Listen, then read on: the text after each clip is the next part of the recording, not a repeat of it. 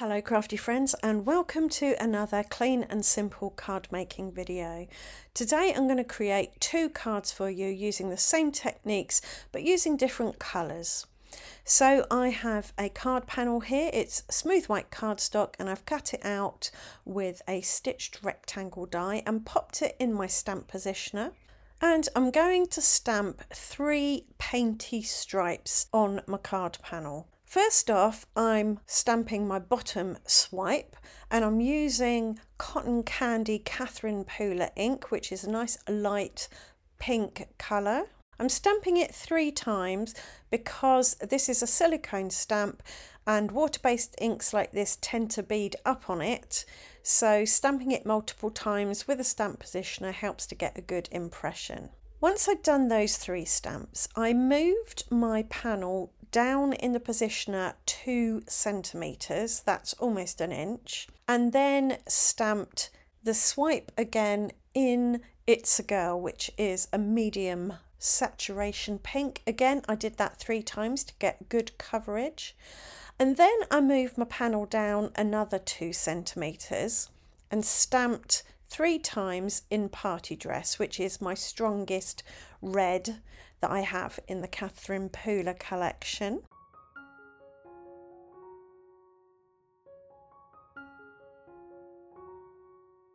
And so now I've got three stripes in three different saturations of red stacked one on top of the other. Next, I took another panel and did exactly the same thing without moving the stamp using some blue-green inks. The lightest one is Cummerbund, the middle one is Fiesta Blue, and the darkest one is All That Jazz. I actually only stamped All That Jazz twice because it was saturated enough to give me a really good impression. What are your favourite colours to use on cards? I think greeny blues, bluey greens are mine because I find them really calming. Let me know in the comments.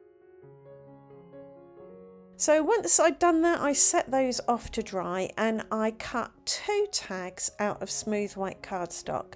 I picked this particular tag because it's the perfect size for the happy birthday stamp that I wanted to use.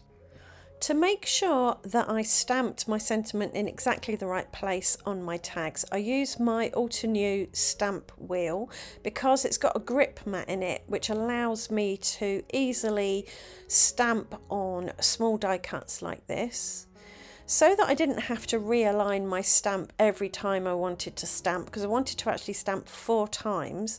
I put a jig in and a jig is just something that holds the die cut in place and in this case it was the bit of card that I'd cut the die cut from. So I popped the jig in put a tag in the jig lined up a stamp picked it up with the stamp positioner lid thing and then stamped the blue happy birthday in all that jazz. And I stamped on both sides of the tags and you'll see why in a minute. And then I took that tag out put the other tag in and stamped on it both sides again in party dress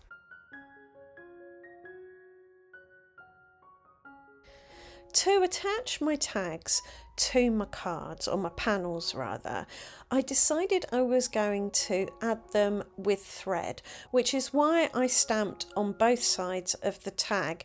They're not going to be glued down flat, they might flap about a bit and turn themselves over. So I wanted the sentiment to always be visible, and this way it is. So with a pink card, I popped some tape runner on the back of the panel, took some gold sparkly thread and wrapped it around the card between the top and middle paint stripes. And I kept wrapping until I had a few strands around.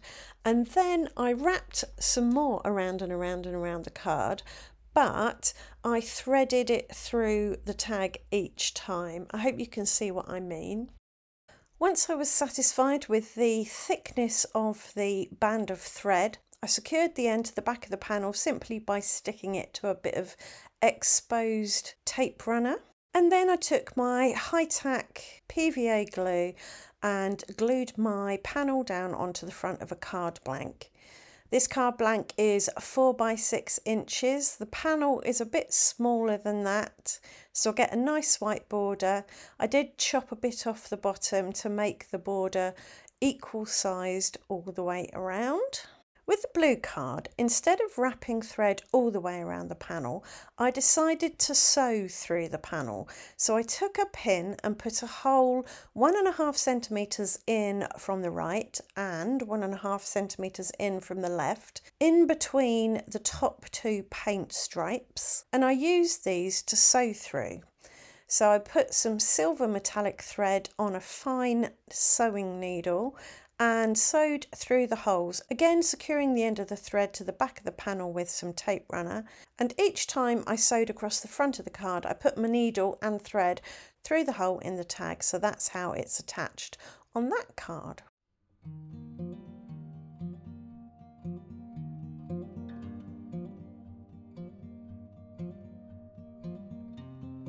So here are the two cards all done and dusted. The inks have smoothed out beautifully. I like the sparkle and shine from the threads and the little tags with the sentiment on.